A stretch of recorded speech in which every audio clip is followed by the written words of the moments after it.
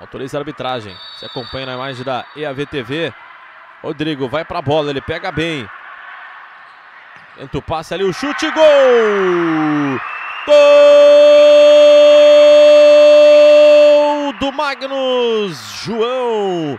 Número 77, mete pro fundo do gol. Jogada ensaiada do Rodrigo pro João. Faltando 16 e 24 pro final do primeiro tempo. Tá aberto o placar do ginásio municipal Perinão. João com categoria na cobrança ensaiada do Rodrigo.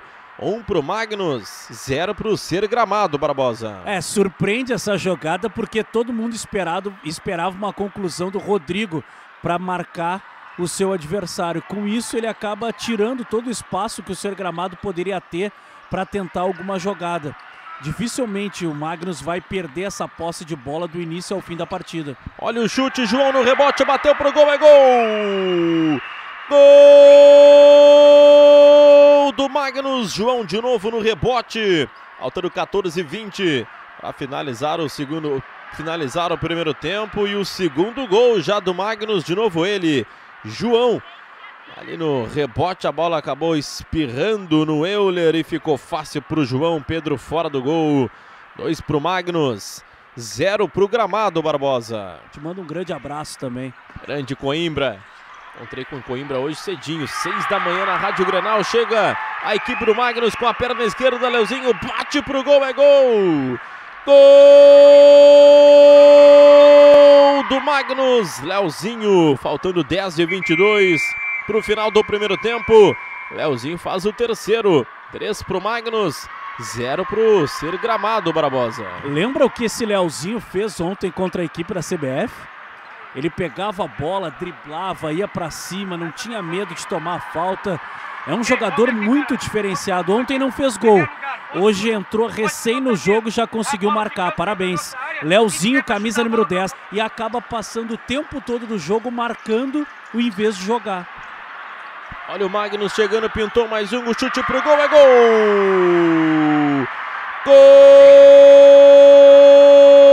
Gol do Magnus Lino! Faltando nove para finalizar a primeira etapa. Boa jogada do Lino na cara do goleiro Pedro, que nada pôde fazer. 4 a 0 Barbosa. É, resultado construído com naturalidade. É isso que eu vinha falando, ó. Olha a tranquilidade. Ele tirou a marcação na saída do goleiro Pedro. Ele botou no canto direito, lado esquerdo de quem vê na tela. A bola morre no fundo da rede. 4 a 0 para a equipe do Magnus vai construindo um resultado elástico já nesse primeiro tempo. Um lateral tenta ocupar ainda a quadra de ataque a equipe da Serra Gaúcha. Euler. Tenta buscar a quadra de ataque marcada pelo Gugu Flores, passa o pé por cima da bola, chega também o Charuto. Passe na direita muito forte lá pro Endros.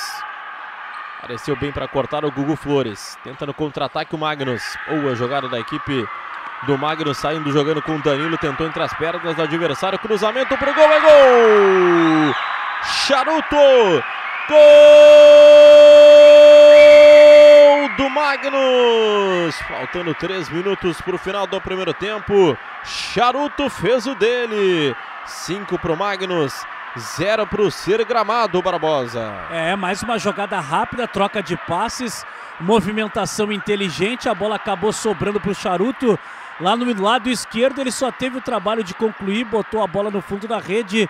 Agora 5 a 0 para o Magnus em cima do Ser Gramado. A equipe que é anfitriã da Supercopa Gramado de futsal. Tá aí o Charuto, mandando para o fundo do gol, vibrando. Apita a arbitragem, rola a bola na quadra no ginásio municipal Perinão para a etapa complementar, etapa final de 5 para o Magnus, 0 para o Ser Gramado. Rodrigo já fez o passe ali na área, o chute é gol! Gol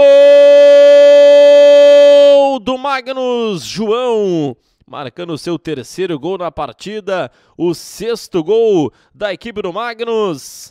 Já no inicinho da etapa complementar, em 15 segundos de bola rolando, Joãozinho Barbosa tá fazendo o terceiro gol dele na partida e o sexto do Magnus. Pois é, uma jogada rápida, uma troca de passe, um passe longo, né, na vertical, no meio da defesa da equipe uh, do Ser Gramado.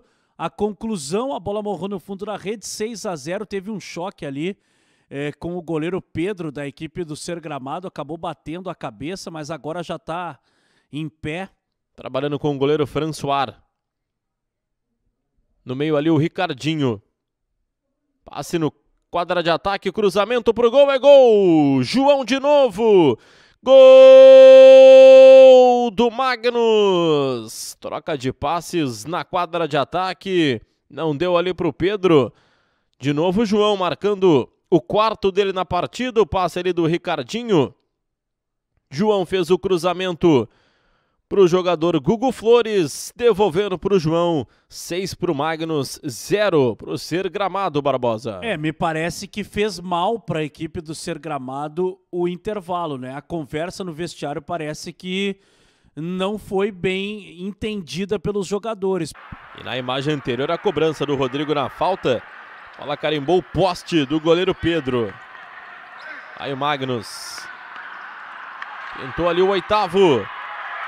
Chute pro gol do Gugu Flores. Gol do Magnus. 8 a 0, placar elástico.